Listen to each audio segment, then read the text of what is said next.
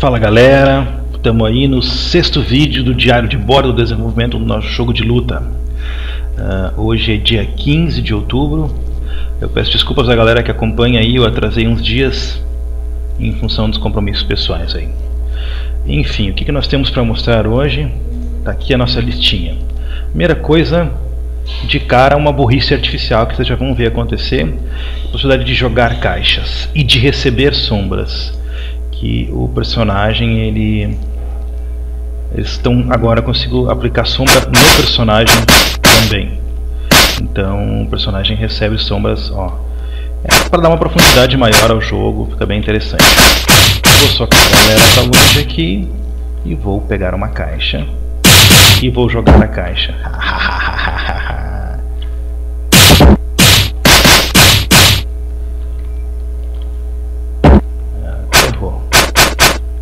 joguei pulando errado.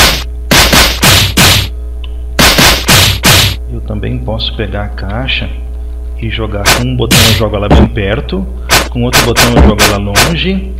E eu posso também uh, só botar ela no chão, somente para guardar ela, posicionar, fazer resolver um puzzle.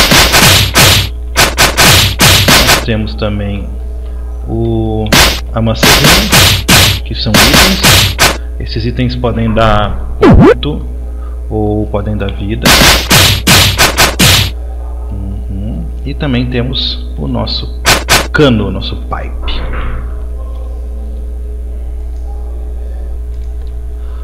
Voltando então, a gente pode pular com o cano, pode fazer diversas operações e o cano fica na nossa mão igual. Ah, o cano sai da mão. Vou pegar ele de novo aqui. Ah, não tem graça, né? Vamos botar os personagens de novo pra gente poder bater neles.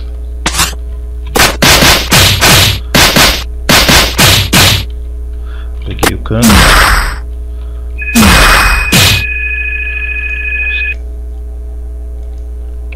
Continuando então. Vamos surrar o pessoal. Vocês viram que um personagem, quando eu bato, ele bate no outro, né?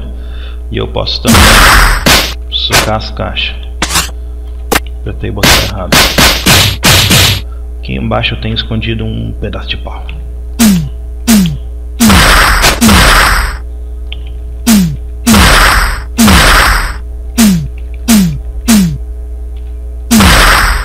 Depois disso ficaram também algumas coisinhas técnicas, uh, como prioridade no hit def. A gente pode dizer, por exemplo, que quando ele está dando esse golpe no ar aqui, se o, o, inimigo for atacar com o golpe parado, ó, exatamente o que aconteceu.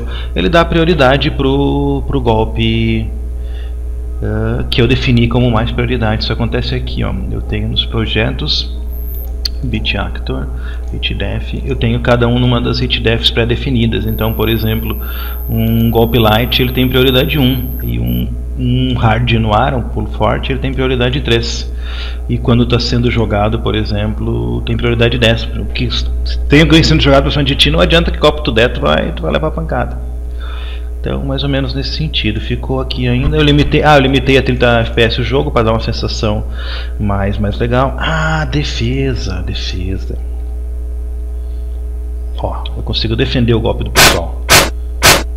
O som ainda não está bem legal, mas é só por não ter escolhido mesmo. Então eu posso defender o golpe e ele leva bem menos dano. Eventualmente a defesa quebra, tá? Mas a ideia é mostrar que a defesa, a defesa já existe. Ó, quebrou a defesa. Então tem um sisteminha aí de defesa e de quebrar a defesa. Vamos ver o que, que mais ficou.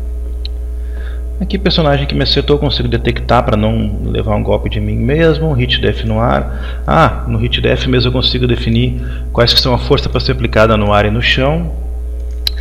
Ah, tá. O resto é detalhe mesmo. No princípio era isso aí mesmo.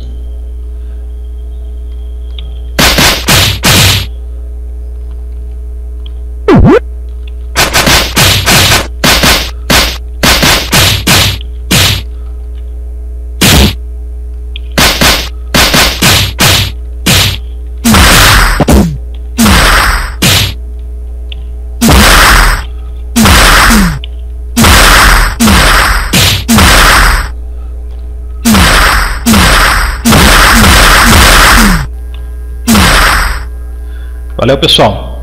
Até daqui duas semanas.